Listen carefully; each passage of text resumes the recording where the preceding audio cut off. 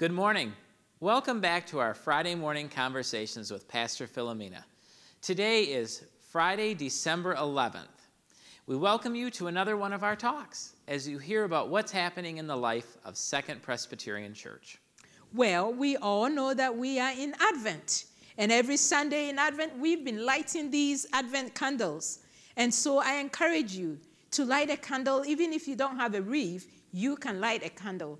Whether it's a real candle or it's the one that is operated by battery, you can still light it. So to be in that light, that reminds us of Jesus Christ's birth that is coming. And it's getting dark lately, early. So that will light our hearts as well in preparation. We would like to extend a big thank you to all who contributed to the Angel Tree Network for the community here in Saginaw. It is a blessing to be able to give, and so we would like to say big thank you to all who contributed, especially to Linda and the mission team who coordinated and made everything possible so that we can reach out to the community. You'll notice our, uh, our set has changed today. This Sunday at 9:30, we have our annual Christmas drama. Little different this year. It will be a virtual drama. Right. So tune in when we have our regular live stream of our Sunday worship service, Sunday at 9:30, and you will be able to watch our Christmas drama. Speaking about Christmas, we are preparing for our Christmas joy offering. And so you may have received information in your newsletter that the Presbyterian, racial, ethnic, and retired ministers benefit from this Christmas joy offering. And so we will, will you prayerfully consider helping with the Christmas joy offering that we will be collecting on Christmas Eve? If you're one of our individuals who have bo has boxes of offering envelopes, there's a special envelope in there for the Christmas joy offering. There's actually two different envelopes. One is for Christmas joy, and that specifically, specifically goes to the Christmas joy offering that Pastor Philomena is discussing. Yes, and uh, we will be collecting them until end of December. Correct, correct. You may have noticed it says December 20th, but we give extended grace, so you can turn it in by the end of December. Right. Mission study. Have you received your mission study survey either by snail mail or by email? If you have, but you have not been able to sit down and fill in all the blanks and return it to us, we ask you to please do so. This will help us to put a study together to identify who we are as Second Presbyterian Church in preparation to call for an installed pastor. So we encourage you. If you have already returned it, we say a big thank you and God bless. And if you are still in the process, we pray graciously for you that with blessings and a touch of heart, you will return it to us as soon as possible. So the mission study team will continue to do their work and get this done as soon as possible.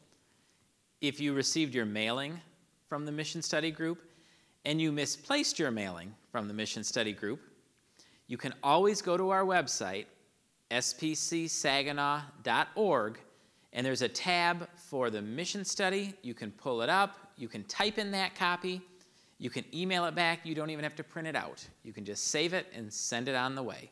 So we encourage you to do that.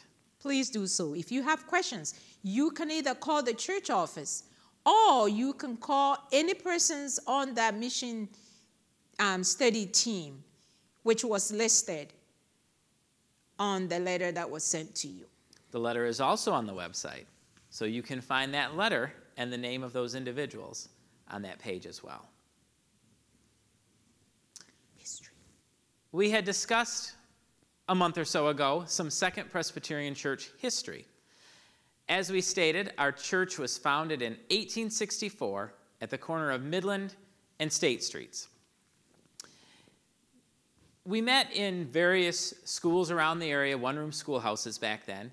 And then, along about 1872, about eight years after we were founded, there was some discussion about building a church home. And then that discussion sort of went away. Our church history book, our session minutes, they don't really say what happened, but our church history, which was written when our church turned 100, surmises that people talked about raising money for a building fund, and then people stayed away because of the building fund. So in 1972, there was another discussion to start raising money, and then those, that discussion went away.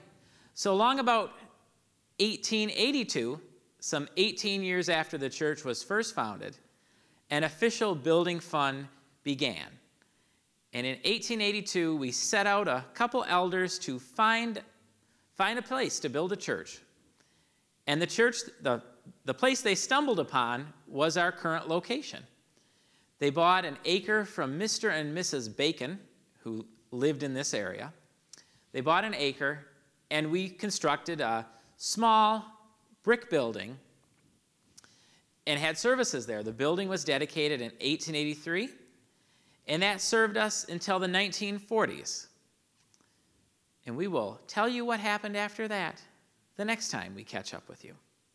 So in the meantime, please tune in on Sunday morning at 9:30 for our 9:30 worship virtual, and then midweek Wednesday with devotion, and then Friday again with conversation. But kids, if you're listening, please don't forget to tune in on Sunday at 4 p.m. with reflection with Miss Peggy.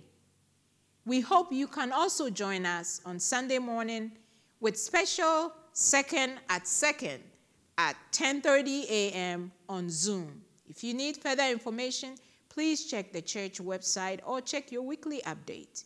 If you would like to communicate with us or share the needs that you have, please feel free to call the church office or send email to Pastor Philomena. In the meantime, keep listening and keep sending us your questions or what you would like to hear on Friday Conversations. Thank you, Mr. Adam. Thank you. We'll see you next week. Take care.